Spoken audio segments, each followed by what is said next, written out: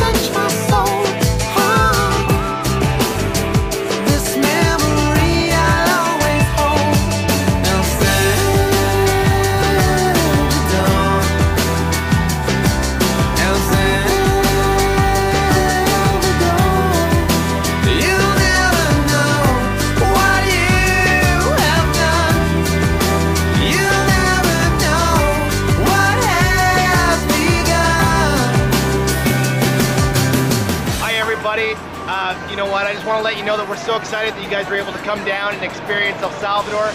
Um, as you guys already know my heart, uh, El Salvador is what it is. Melissa and I, we're just glad you were able to come and be a part of it and be able to experience what God has placed in our hearts. But what we really hope is that you guys are able to take this back, take back this passion and take back this uh, desire to see people come to know Christ, take it back to Canada, and just be able to move in your communities and do things for Christ there. But thanks a lot for coming down, and you guys are welcome anytime. Salvador.